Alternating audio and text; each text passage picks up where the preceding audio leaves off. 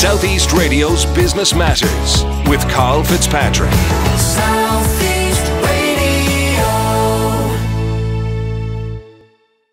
Good morning, I'm Karl Fitzpatrick and welcome to Business Matters. Coming up on this morning's show, why the Lotto's gamble on privatisation has paid off, the pilot programme which has successfully facilitated trade between Wexford and Savannah, and a former RTE broadcaster whose new business aims to bring customised news feeds to your phone. Well, this week, we heard about the long overdue Brexit agreement, a deal which has seen the UK cabinet crumble. One in five employers are considering moving out of Dublin due to spiralling costs. And Rosslare Europort announced a 15 million euro upgrade of its facility. I've invited Glenn Carr, the manager of Rosslare Europort, to join me on Business Matters to discuss these plans in the coming weeks, and he has kindly accepted this invitation, so that's sure to make an interesting interview. Now, let's get straight down to business. Premier Lotteries Ireland became the first private operator of the National Lottery, but as privatising this national institution paid off. The chief executive of the National Lottery, Dermot Griffin, joins me now to tell us the answer. Dermot will be discussing the recent results announced by the National Lottery shortly. But first, back in 2014, Premier Lotteries Ireland was awarded a 20 year licence to operate the lotto in Ireland. But perhaps you can tell us about the scale of the company behind the National Lottery. The uh, consortium that we were part of and won the licence to operate the National Lottery was a consortium headed up by Ontario Teacher Pension Plan. Um, they're one of the largest pension plans in Canada. Uh, so they hold 80% of um, the, the share ownership. And we also have uh, 20%, which is owned by An Post and An Post pension schemes. And what was the reason for it to move away from state ownership at the time? The uh, at the time, the idea of um, the license process was to um, raise additional funds for good causes. You might remember at the time uh, the economy was in a, a downturn, and in particular the state needed to try and raise uh, funds and in particular uh, with a view to building the new children's hospital. So half of the upfront uh, payment that was um, acquired uh, by selling the license uh, has been um, u- utilised to, to build a new children's hospital that's, that's currently under under construction. And from your experience, how challenging was the privatisation process? Um, the, the, changeover requires uh, quite a lot of planning. Um, the, the, condition of the license was that we had new equipment uh, in situ at the start of a new license process. So what it meant was we had to continue to operate the uh, old infrastructure right up to the night of transition to the new license while um, building out uh, and rolling out the new technology and then switching over seamlessly so that uh, there wasn't any particular issue with draws or um, you know that draws could continue um, each day and that we could continue selling tickets uh, each day. So it, it, it, was a huge undertaking and, and one that most businesses would never have to face. Now, since Premier Lotteries Ireland took over the running of the lotto, some of the games have witnessed price increases. What impact did that have on the number of people playing? The price changes, some of them in, in many ways were overdue in the sense that, say, uh, the price change we made to uh, Lotto Plus, um, you know, the, we, the last time we changed the price in that game was 2002. Mm. Um, you, you know, uh, on Lotto, uh, we hadn't changed that game since 2006. Uh, and actually, the license process meant that we were in a period of time from, say, uh, 2012 up to 2015 where you know we're working on transition rather than um, changing the games or updating the games. Uh, so while there was a number of price increases since we changed the, the, the new structure, part of them are catching up. Um, and when you look at the level of prizes we're offering now, um, you know everything has moved up in proportion. Uh, lotteries, uh, I suppose, grow and and uh, thrive on on the fact that they remain exciting, and that means more prizes by and large and bigger prizes. Uh, and that's always been the secret of, of, of success in the lottery business.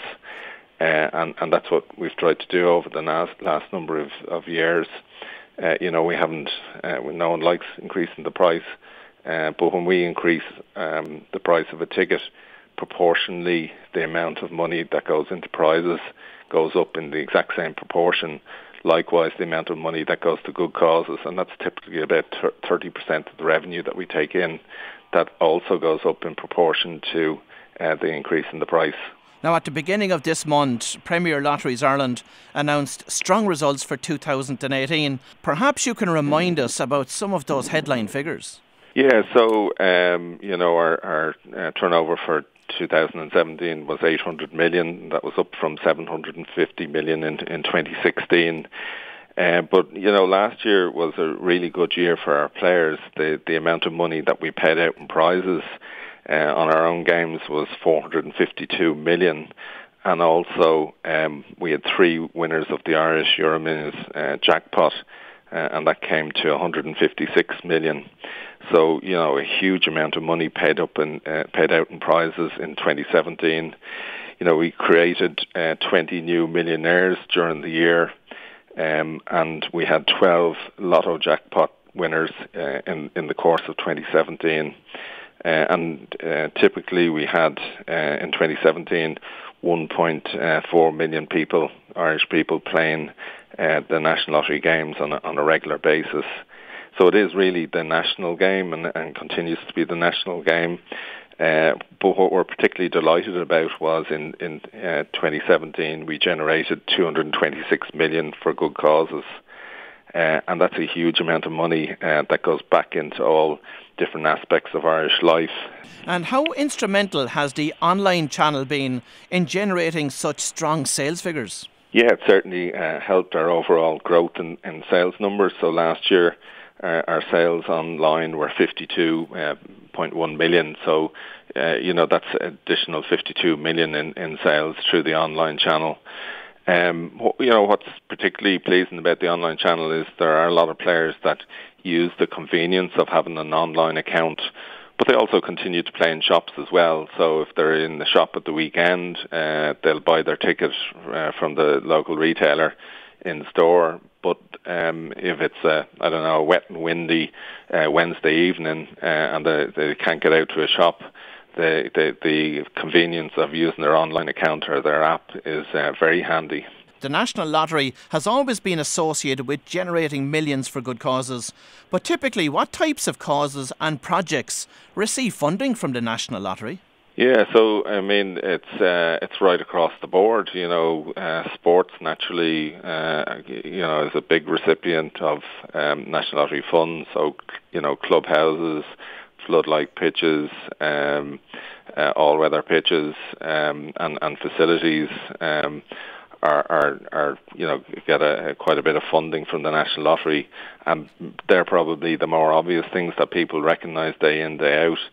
But there's you know a host of other um, uh, uh, charities and, and community services that also receive funding that mightn't be so obvious, and um, you know uh, we, we've had a um, a, a good cause awards uh, competition this year uh, that highlighted um, you know the various different uh, groups that receive funding from the National Lottery, and they can be in the areas of heritage, uh, arts and culture, Irish language, um, health and welfare, youth.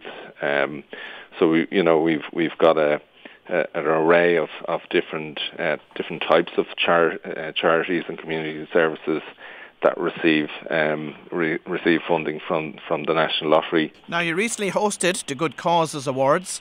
Tell us about this night and some of the causes which were honoured during the ceremony. Yeah, so um, we had uh, an awards uh, ceremony, and and uh, we what, what uh, the way the awards uh, were structured was uh, we invited applications from um, community uh, f- uh, funding activity that uh, had received national lottery funding uh, on a county basis, uh, uh, and and then.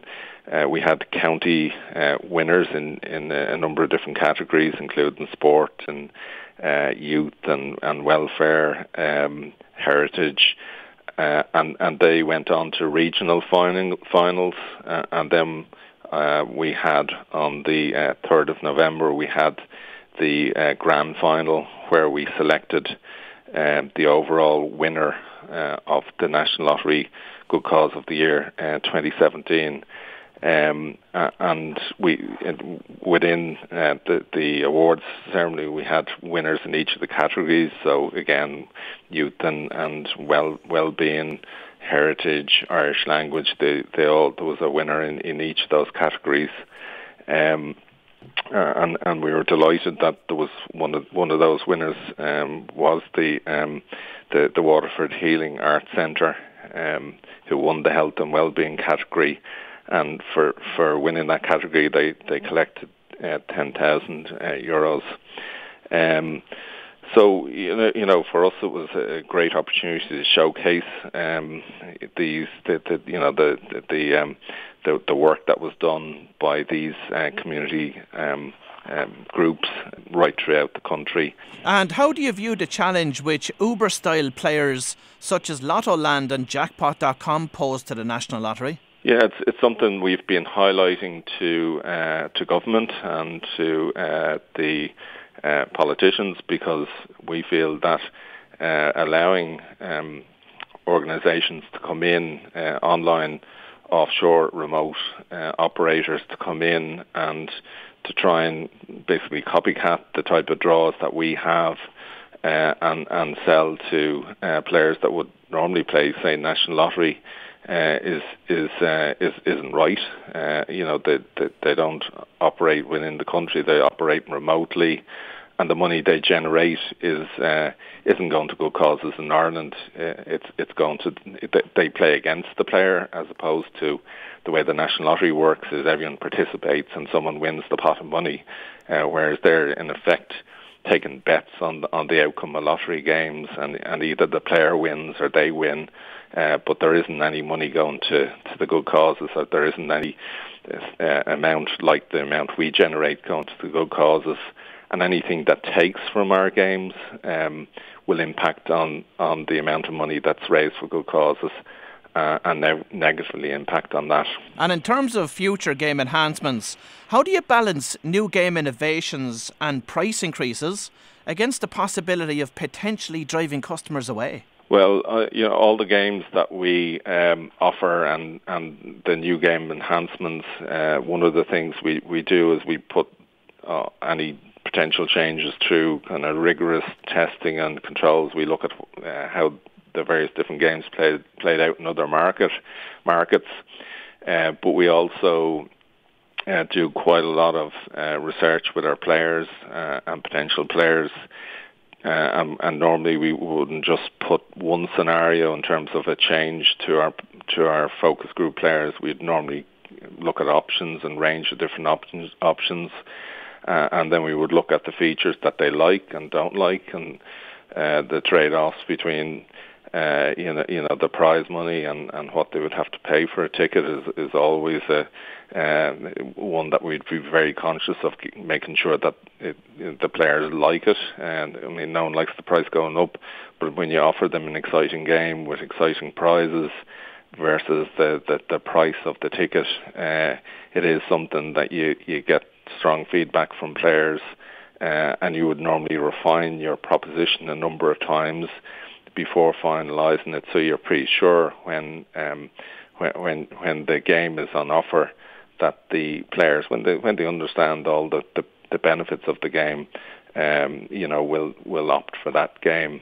Um, and it's something we've done uh, for many years now, and it's, it's proved to be uh, very successful. Well, if you've just tuned in, that was Dermot Griffin from the National Lottery, and I would like to thank Dermot for taking time out of his busy schedule to join us on this morning show. After the break, we'll be joined by Alison Stone Thompson from Tradebridge, who'll be discussing the burgeoning commercial relationships between Wexford and Savannah companies. So stay tuned for that.